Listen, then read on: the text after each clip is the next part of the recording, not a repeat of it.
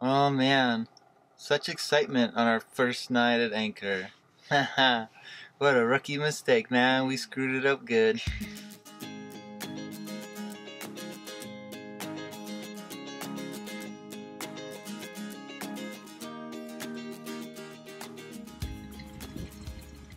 No one at the marina office would give us a clear answer on where they wanted us to park our truck and trailer for the next four months, so we just picked a spot that looked somewhat out of the way. We noticed once we got here that the marina yard wasn't exactly that secure of a place. We thought it would be a good idea to cover the truck with large tarps to try to prevent someone from messing with our stuff while we were away. We had to go to several stores in town to find big enough tarps that would cover the truck and the canoe on top. Most stores had similar ones priced at around $50 or more.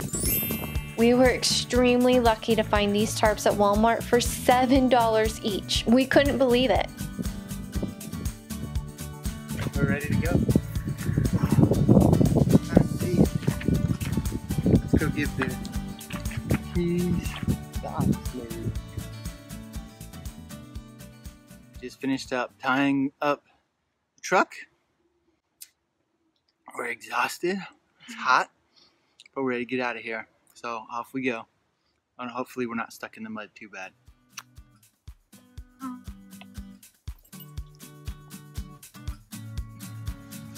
Last night, Randall and I drove to a nearby beach and found that there were sailboats anchored in the bay. It looked like the perfect spot for us to spend our first night anchored. We were able to get out of our slip without any problems and were soon making our way out of the marina.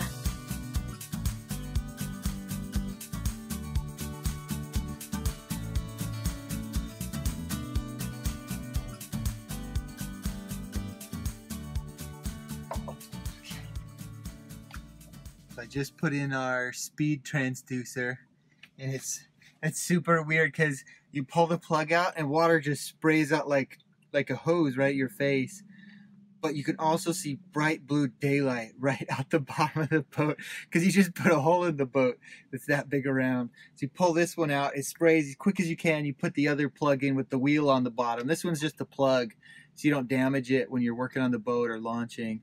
So I just stuck the paddle wheel in so now we can see how fast we're going through the water. it kind of freaks me out. Like, you know, it's not a big deal. You know, you can plug the hole again, but it's still nerve wracking. We're in 11.3, no, 0.4. We're in 11 feet of water with a 5 foot keel draw. So that's 11 from the bottom of the keel. So it's 11 plus a 5. And we are in a 1.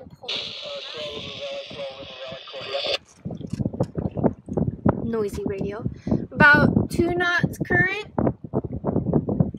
Because we're not moving, but it says we are. Right, exactly. So the tide is going out. The water is moving really quickly, actually. Two knots. We're at our first anchorage, a beautiful little spot right off of Sandy Beach uh, by Fort Pierce. And I'm about to go up the mast to string a line so that we can raise our cruising pendant, quarantine flag, or uh, country flag. Uh, so I just gotta pop up the mast a little bit, run a line, and uh, we'll be good to go.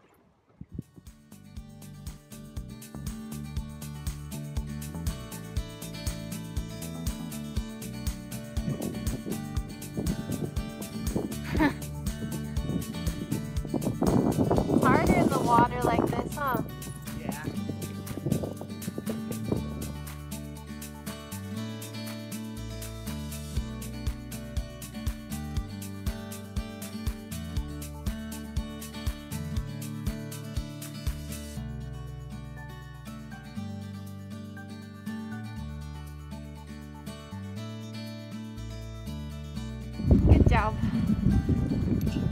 to remember.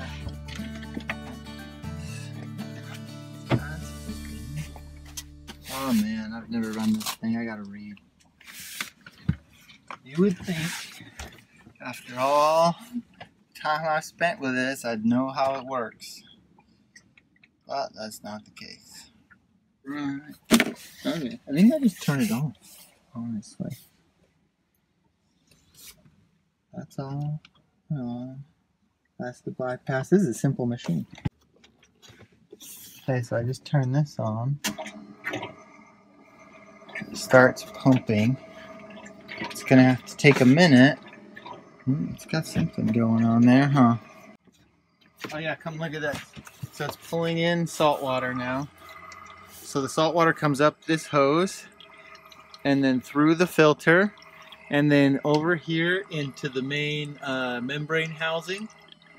And from there, um, it gets separated into about two thirds brine water, which is still salty, actually extra salty, and about one third clean fresh water that's separated from that.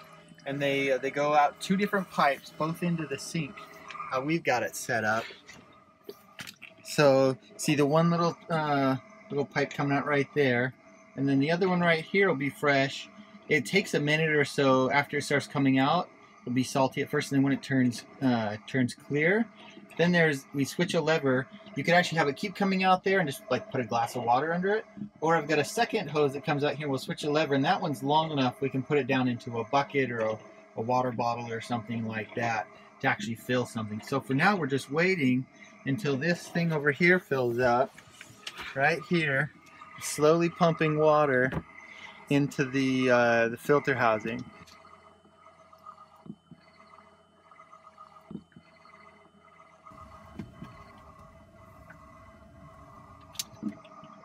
Let it go for just a minute. And then this. Put the thing behind the toilet. Fill it with drinking. Oh, nuts. Fill it with drinking water. So what your mom was afraid of. All right, here's the test. Here's our first bottle of Water Maker water. Hopefully, it doesn't taste like an old water bottle that's been in the trunk of your car all summer. Here goes.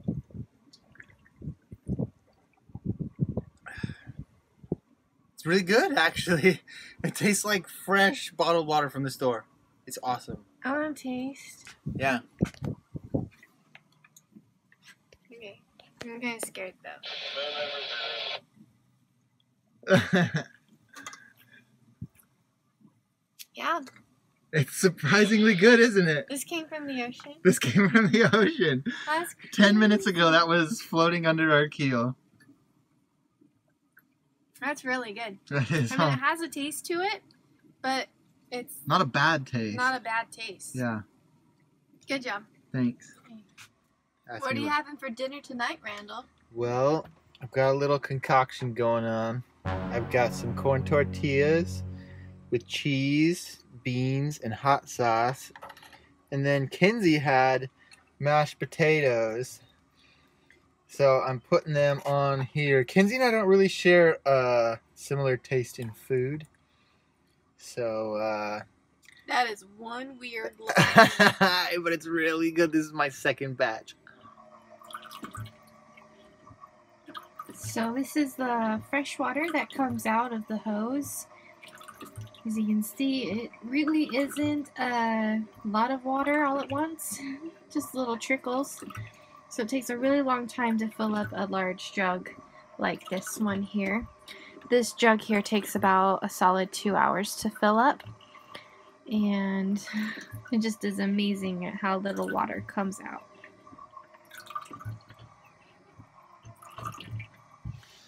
Well, we have our first issue. Our brand new Power Survivor 40 water maker by Katadyn is leaking both inboard and outboard of the main pump body. And uh, so it's leaking salt water all over the V-berth as we try to use it we're basically out of water. The marina we launched at didn't have potable water, so we started out with nothing, and now we have about two gallons, and it's broken. There's something magical about being on your own sailboat anchored in a beautiful place watching a majestic sunset. This is finally what our trip was supposed to be like.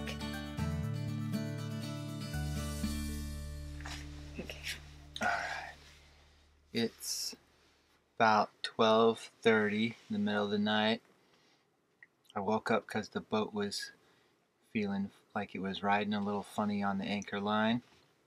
Mm. We'd gotten the uh, the anchor rode wrapped around the not the rudder. We thought it was around the rudder, but it was it was wrapped Just around the keel. yeah, it was wrapped around the keel. It probably wrapped around the keel right at slack tide or just after. And then the current started running pretty strong again, just about two knots of current, which is pretty significant. And so I woke up and the boat's like dead sideways to the current at two knots and like heeling over in the current and everything.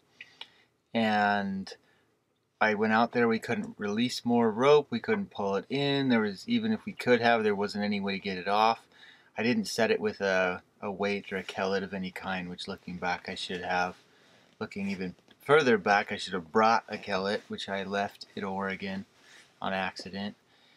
Ah, so we weren't really sure what to do. Should we slip the anchor, try and start the motor, and catch us before we drifted onto the shoals, which are just downstream?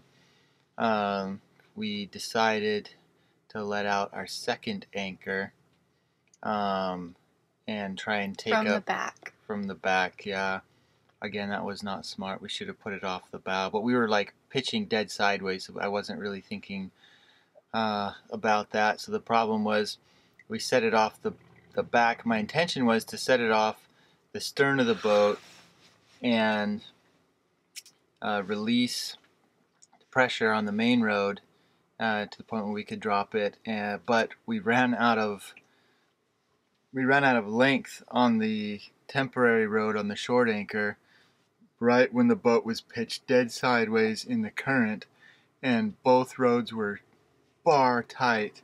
Is that when we were like tipping Yeah, sideways? and like, yeah, so we were really, I mean, we were heeling over like 20 degrees. Then we got um, the temporary line stuck on the cleat. I accidentally had an extra wraparound, so then I couldn't even uncleat it. While we were trapped sideways, though, we were able to release the main anchor rode completely, hook it with the boat hook, drag it back we up from the other side, to it and just then in case. yeah, and then restring it to the bow and cut the aft anchor line. It was a mess. So it was a, a fiasco. So now we did tie a buoy to that anchor though, so now it's floating back behind us. Yeah. Now we just need to figure out how to get it. Yeah, the tide's still running pretty strong and it's kind of over by the shallow area. We don't really, really want to let the. Yeah, right now we're far. sitting in five feet of water. Yeah, shallow enough already, especially with the tide going out. It could be even shallower here in a little while. We have three more hours. till slack tide. Yeah, Kenzie's saying maybe in three hours at slack tide we can motor back there with the dinghy and pick it up or something. But I'm exhausted. Mm. Oh man, such excitement on our first night at Anchor. what a rookie mistake, man. We screwed it up good. Lost one anchor already. It's not even rough out there yet. No, it's calm. But it is a little trickier anchoring in this much current, reversing like that. Ah, we just didn't think it through enough. We're still new at this. We don't know what we're doing yet. But we're learning really fast. Yeah.